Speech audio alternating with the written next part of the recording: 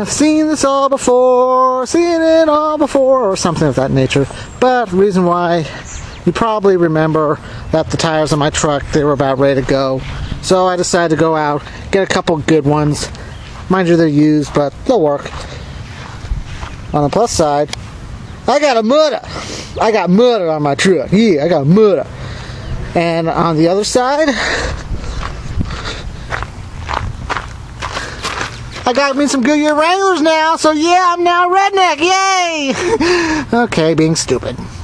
But sooner or later, when things get going, I mean, yes, I am shifting my truck with a screwdriver.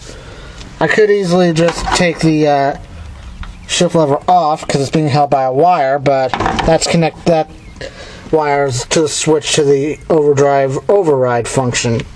But it runs, it drives, so figured why not. So yeah, yep, pure ghetto redneck, shifting with a screwdriver. Yeah. In addition to a Goodyear Wrangler tire and a mudder. So yeah. Hopefully maybe I'll get a new steering column my truck will be better. Or not.